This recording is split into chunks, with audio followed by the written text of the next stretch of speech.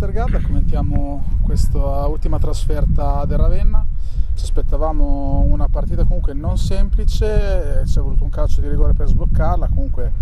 direi che il Ravenna sul campo ha ampiamente dimostrato di, di meritare questi tre punti. Sì, sì, non è stata una partita semplice, eh, lo sapevamo, però l'abbiamo sempre condotta, l'abbiamo sempre quasi giocata esclusivamente nella loro metà campo è chiaro che finché non sblocchi il risultato comunque rimane una partita difficile, Borgo San Donino comunque ha dimostrato di essere in un buon momento, credo che la vittoria sia meritata perché poi potevamo fare altri gol e, e quindi siamo molto contenti. Ecco, la cosa che ormai quasi non stupisce più di, di, questo Ravenna ed è una cosa che ha spesso ribadito in, nelle conferenze stampa è il fatto che anche cambiando i titolari o i ragazzi che entrano non, non cala mai nel livello dell'attenzione, nel livello di gioco della squadra. No, no, assolutamente, io ho avuto già modo di dirlo, abbiamo una rosa equilibrata e quindi anche quando abbiamo delle assenze, oggi ne avevamo comunque Magnanini, Pavesi, eh, Mancini, avevamo poi Alluci e Diallo non in buone condizioni, ma siamo una rosa equilibrata e quindi riusciamo sempre a gestire anche le diverse assenze. Approfitto,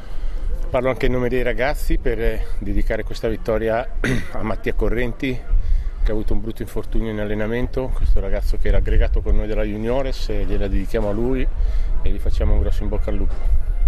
Ecco, di solito non parliamo mai dei singoli, ma forse oggi è il caso di farlo e sicuramente il gol di Variale ha un significato speciale, oltre alla bellezza del gesto tecnico. Sì, sì, ha fatto un grandissimo gol, ha fatto un Eurogol e